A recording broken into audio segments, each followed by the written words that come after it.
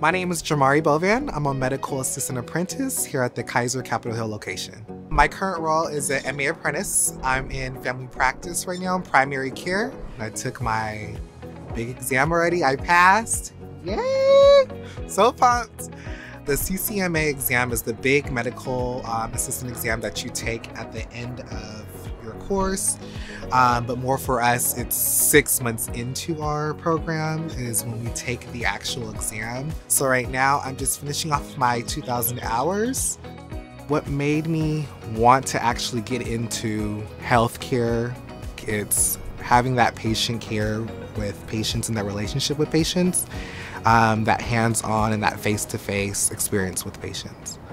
I really want to be a registered nurse. That's one of the biggest dreams I wanted. And uh, working with Kaiser is going to help me entirely get to that dream. I would definitely highly recommend this apprenticeship to anybody looking to be a medical assistant, trying to get their foot in the door, working in, in a clinical setting. I was supported throughout everything since the first day I started.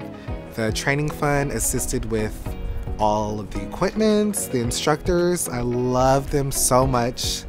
They even went out their way to assist with us, to tutor us before our exam.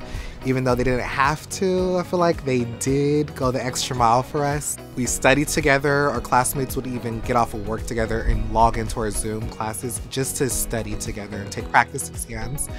Um, the training fund also paid for our um, NHA practice exams as well and we were taking that say monthly before we actually took the upcoming test. My favorite part about the program would honestly be the schoolwork and the in-class hands-on work, um, drawing up vaccines, uh, working with phlebotomy, also our CPR class. It's very difficult to work and go to school at the same time. So with this program, it combines it all together and you are able to work and go to school and actually get into the career path you want to be in.